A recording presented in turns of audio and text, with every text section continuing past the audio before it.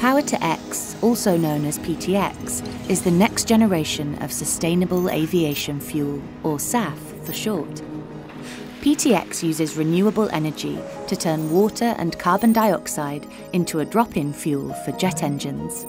And importantly, it's expanding the options for how SAF can be produced to meet growing global demand.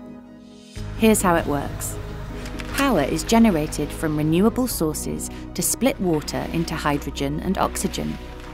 When combined with captured carbon dioxide, this hydrogen can then be turned into a range of fuels and products.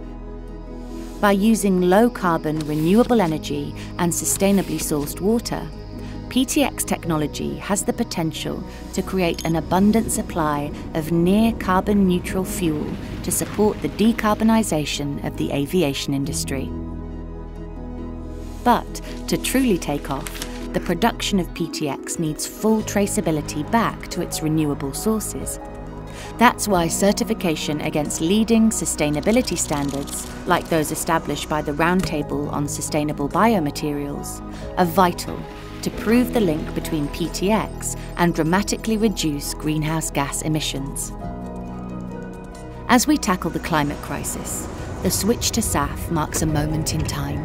By investing now to expand the supply and use of PTX, we can choose to innovate aviation for good and together fuel a brighter future in flight.